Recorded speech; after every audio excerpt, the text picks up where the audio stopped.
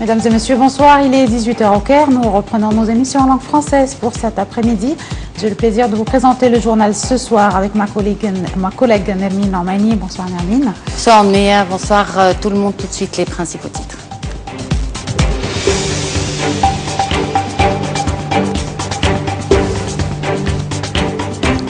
Le président Abdel Fattah al-Sisi s'entretient avec le roi de Jordanie Abdullah II au palais d'Al-Ittihadiyya au Caire des dossiers d'intérêt commun.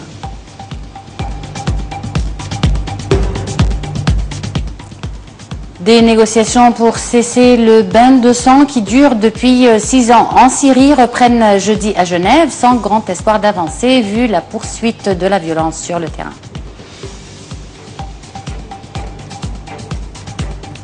La Grèce accepte des concessions pour sortir de l'impasse avec ses créanciers zone euro et FMI sur son plan de sauvetage.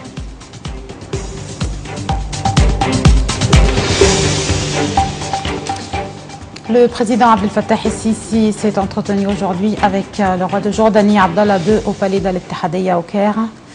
Les entretiens ont porté sur les moyens de renforcer les euh, relations bilatérales, les développements dans la région ainsi que les efforts déployés pour mettre les discussions de paix entre Palestiniens et Israéliens sur les rails.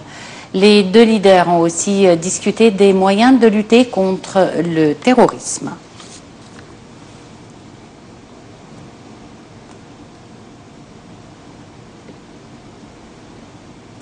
Le président Abdel Fattah el-Sisi a mis l'accent sur l'importance de la coordination entre les ministères, gouvernerats et les différentes institutions de l'État en vue de permettre au gouvernement d'achever les projets en cours à la date prévue. Sisi a fait cette déclaration hier lors de son entretien avec le Premier ministre Sherif Ismail et le ministre des Finances Al-Garhi.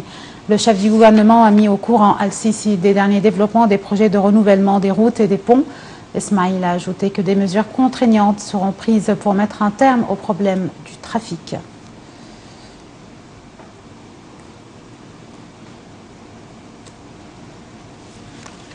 Concernant l'économie, la bourse du Caire termine en hausse aujourd'hui due aux opérations d'achat des investisseurs et des institutions étrangères pour collecter des gains.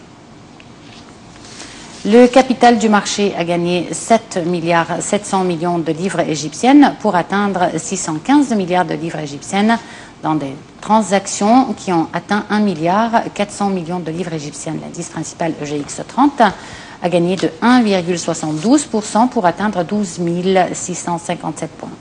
L'indice EGX 70 des petites et moyennes entreprises a haussé de 0,79% à 494 points. Et l'indice le plus élargi, EGX 100, a grimpé de 0,79% à 1191 points.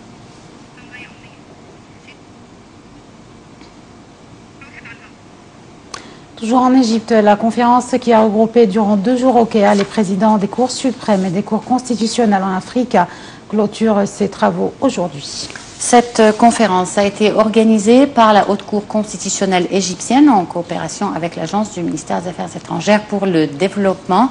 Nada Ibrahim était sur place et nous a préparé ce reportage.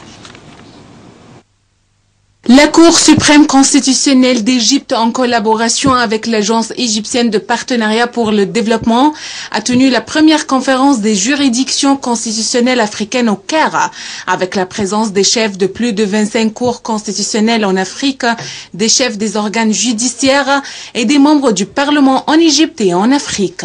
Cette opportunité, la rencontre entre les cours constitutionnelles ou bien les cours suprêmes, est très très très importante. Parce que euh, vous savez que la justice, comme on dit toujours, c'est le rempart de toutes les solutions. Pour construire un état de droit, il faut une bonne justice. Pour pouvoir avoir un développement harmonieux, il faut avoir une bonne justice. Et en ce qui concerne mon pays, particulièrement la République démocratique du Congo, nous sommes une jeune cour constitutionnelle. Donc nous avons deux ans de création. Et l'expérience des cours constitutionnels, par exemple, comme celle de l'Égypte, est très très importante. Surtout que euh, l'Égypte, comme vous le savez, c'est le berceau de l'humanité. Et franchement, je crois que nous avons beaucoup apprécié l'invitation que nous avons reçue des autorités égyptiennes et nous avons beaucoup appris. Et cela nous permettra effectivement de voir quelles sont les solutions auxquelles ils ont consacré à certains problèmes, parce que les problèmes sont toujours communs. La justice est rendue par les hommes, et là où il y a des hommes, il y a des difficultés, et je crois que c'est bon. Une bonne chose. Lors des réunions, on a pu euh, échanger sur euh, les défis que traversent les différentes euh, hautes juridictions de différents pays qui sont représentés ici. On a pu échanger aussi sur la gestion des dossiers en l'occurrence les délais, parce qu'une bonne justice doit être rendue dans les délais raisonnables. Alors là, on a vu que, vu la complexité des dossiers, le manque de matériel euh, qui caractérise les différentes juridictions nationales, on a vu qu'à ce point-là, il y a des défis à relever, et très importants. Durant la conférence, la Cour suprême constitutionnelle d'Égypte, sous la présidence du conseiller Abdelwaheb Abdelreze, a signé un protocole d'accord avec le chef de la Cour constitutionnelle de Togo qui vise à organiser des ateliers et des cours de formation des cadres judiciaires afin d'échanger des expertises et renforcer la coopération entre les pays africains dans le domaine de la justice constitutionnelle. C'est un protocole d'accord qui a été signé entre la Cour constitutionnelle du Togo et la Cour constitutionnelle d'Égypte, la Haute Cour constitutionnelle suprême d'Égypte, euh, qui établit une coopération entre les deux juridictions, notamment dans le cadre des échanges des décisions, des jurisprudences, également dans le cadre des échanges qui pourraient euh, être faits, notamment en ce qui concerne la, formation. Hein. Les juges togolais, d'après ce que je me que savoir, peut venir ici auprès de la Cour constitutionnelle d'Égypte, euh, regarder comment les choses se passent et inversement. Donc euh, c'est quelque chose qui est très intéressant.